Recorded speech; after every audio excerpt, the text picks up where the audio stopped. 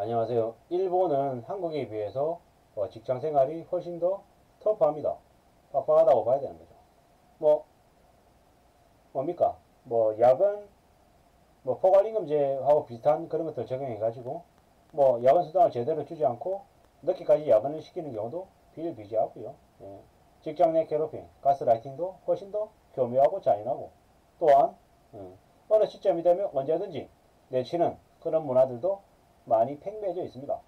뭐 한국이 더 심하냐 일본이 더 심하냐 뭐 따져보기도 따져보면 뭐 의견이 분분할 수 있겠지만 확실한 건 뭐냐면 일본은 지난 30년 동안 저성장 더 이상 임금 인상도 예전만 못하고 종신고용이 부용 붕괴된 꽤나 경제적으로 어려운 시기를 겪어왔다라는 거고 한국은 그래도 뭐 최근에 좀 아니긴 합니다만 그래도 그동안에는 고성장에 뭐 많은 기회들을 누리고 급여가 당연히 올라간다. 입사하고 나면 시간이 지나면 지날수록 직급은 올라가고 연봉은 올라간다는 인식들이 좀 더 강했던 거죠. 그렇기 때문에 어쩌면 일본보다 한국보다는 일본이 훨씬 더 직장인들의 삶이 더 빡빡하고 더 힘겹고 어려웠다라는 이야기를 하고 싶고 또 단순히 일본이 한국보다 더 힘들다는 이야기를 하고 싶은 게 아니라 일본의 모습들을 보면서 앞으로 다가올 한국의 모습들을 얘기해보고 이야기해보고 싶은 의도가 많음을 말씀드립니다. 뭐 자리만 지키고 연봉은 1보, 1억엔 1억 원 받는 일하지 않는 아저씨에 대한 불만이 일본 내 젊은 직장인들에게 많이 있다고 합니다.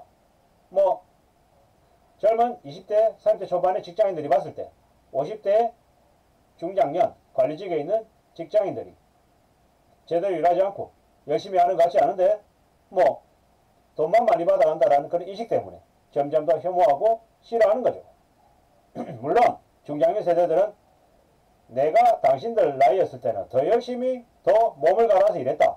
그리고 그 나름의 혜택으로 지금 조금 더 수월하게 살고 있는 거다. 그걸 가지고 뭐 불편하게 보는 건 좋은 게 아니다. 이렇게 얘기할 수 있는 거죠. 근데 다르게 보면 그 젊은 세대와 중장년 세대 간의 교류나 아니면 공감이 서로의 입장에 대한 이해가 많이 적음을 알 수 있는 거죠. 뭐 우리도 마찬가지겠죠. 우리도 직급이 높다, 직책이 높다, 나이가 많다.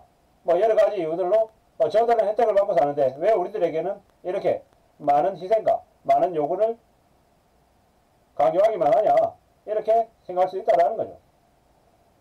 뭐 저는 이미 기득권 혜택을 받는 사람의 입장에 있는 사람이기 때문에 어쩌면 저 일본에서 얘기한 뉴스에 일하지 않은 아저씨에 해당될 수 있음을 알고 있습니다. 함부로 말하면 꼰대가 되는 거죠. 뭐 눈치도 보이고 뭐 신경도 쓰이고 사실 그런 게 분명히 있습니다. 뭐 20, 30대 젊은 직장인들에 비해서 제가 받는 혜택이 분명히 많기 때문인 거죠. 어떻게 살아야 될까? 어떤 마음이어야 될까라는 고민들을 진지하게 하는 거죠. 또 해야 되고 또 이래저래 여러 가지들을 또 조심해야 되는 거죠. 함부로 말해서 안 되고 떠들어서 안 되고 무거워야 되고 좀 더 일해야 되고 좀 더 성실해야 되는 거죠. 뭐 이럴 수 있습니다. 50대에 진입한 그 세대들 중장년 세대들 입장에서는 뭐 젊은 청년들에 비해서 뭐 PC 활용 능력이나 아니면 그런 것들이 좀 새로운 트렌드에 좀 민감한 그런 부분들이 사실 떨어질 수도 있습니다. 근데 그런 것들은 그 저 일본에서 얘기하는 일하지 않는 아저씨에 속하지 않기 위해서 일하는 아저씨가 되기 위해서 좀 더 솔선수범하고 좀 더 열심히 해야 될 것 같다는 거죠. 그래야지만이 그래야지만이 그 조직 안에서 화합하고 또 젊은 사람들은 젊은 사람들대로 중장년 중장년대로 또 각자의 시선으로 사안들을 보고 또 서로 놓치고 있는 부분 스스로 또 잘못 알고 있는 그런 부분들도 보완해 나가지 않겠냐라는 거죠. 그래야지만이 그 회사가 그 조직이 괜찮아질 거다라고 생각을 하는 거죠. 일하지 않는 아저씨. 근데 뭐 정규직이다. 뭐 이러면은 쉽사리 나가지 않죠. 안 나갑니다. 베라벨리를 다 겪어도 그냥 그 모르세요 하고 그냥 버팅기는 거죠. 뭐 제가 그럴 수도 있는 거고요. 누군가가 봤을 때 저를 그렇게 볼 수 있다라는 거죠. 근데 나오면 가족들을 부양해야 되고 부모를 부양해야 되고 여러 가지 이유들 때문에 쉽게 결정할 수 없는 사람들도 많다라는 거죠. 뭐 어떻게 살아야겠습니까? 어떻게 지내야겠습니까? 저기 뉴스에서 나오듯이 업무 일과 시간 내내 주식하고 낮잠 자고 뭐 이래서는 안 되는 거죠. 어떻게든 좀 사, 생활해야 되는 그 근무 시간 안에 다른 사람의 이목도 신경 쓸 필요가 있다. 좀 의식도 해야 된다. 라는 이야기죠. 좀 쉬어가는 때도 있고 또 피치를 올려야 될 때도 있겠지만 확실한 건 뭐다? 스스로 좀 남들에게 피해는 안 주는 모습들을 갖춰야겠죠. 전 제가 이제 그래야 된다는 생각을 제 자신에게 먼저 하는 거죠. 좀 더 솔선수범하고 좀 더 나은 자세로 착실하게 겸손하게 지내야겠다라는 마음 먹습니다. 안 그러면 안 그러면 20대 30대 직원들이 봤을 때 저는 월급 루팡이죠.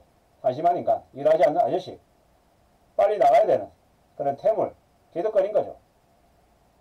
그런 생각을, 그런 인식을 젊은 직원들에게 심어주지 않기 위해서 더 분발해야겠습니다. 뭐 저처럼 중년에 해당되는 사람들이 좀더 나은 자세로 지내야겠죠. 물론 실제로 20대, 30대 초반의 직원들의 마음을 이해하기란 쉽지 않더라고요. 저는 저희 집에서 10대인 저희 딸아이의 마음도 잘 이해를 못하는데요. 성별이 다르기도 하지만 연령이 다르기 때문에 좀 이해가 안 되는 것들도 분명히 있습니다. 그걸 뭐 100%다 맞춘다. 이건 사실 무리인 거고 뭐 계속 꾸준히 지속적으로 노력해야겠다라는 생각을 더 하는 거죠. 왜냐? 그래야지만이 뭐 같이 살아갈 수 있는 거니까요.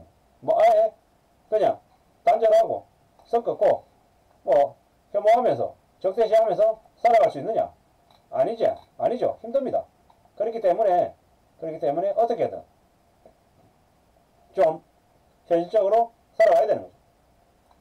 뭐 여기 보면 눈뜬 채로 자고 있는 건 아닌지 의심이 들 정도다. 뭐 이런 생각들 많이 합니다. 무슨 얘기냐? 나이가 많은 직원들, 중장년의 직원들은 젊은 직원들의 눈에 어떻게 비칠지 냉정히 좀 생각해 볼 필요가 있다는 거죠. 왜?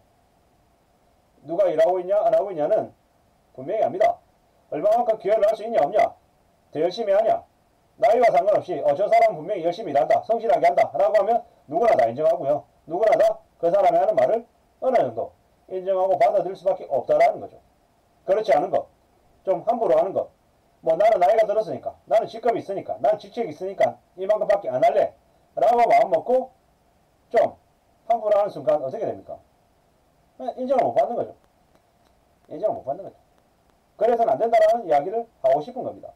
우리가 살아가는 현실은 시시각각으로 바뀌죠. 여차하면 망가지는 경우도 많고요. 이런 상황에서 좀 살아내려면 나아지려면 어떻게 해야 되겠습니까? 성실하게 착실하게 지내야죠. 조직이라는 것, 회사라고 하는 곳 안에서는 그 나름의 또 노력이 필요하고 정성이 필요하다는 이야기를 하고 싶습니다. 그냥 되는 게 아니라는 거.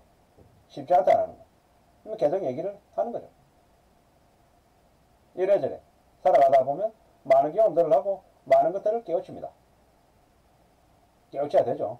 특히나 저 뉴스에서 나오듯이 일하지 않고 놀고 먹는 아저씨가 돼서는 안 되겠다라는 거죠. 일하지 않는 아저씨, 근데 자리만 지킨다? 연봉 1억 받는다? 그래서는 안 되죠. 연봉을 1억을 받는다라고 하는 건 두세 사람 몫을 해야 된다라는 겁니다. 무사한 일주의로 저기까지 버티는 건 절대로 좋은 모습이 아니다. 라는 거죠.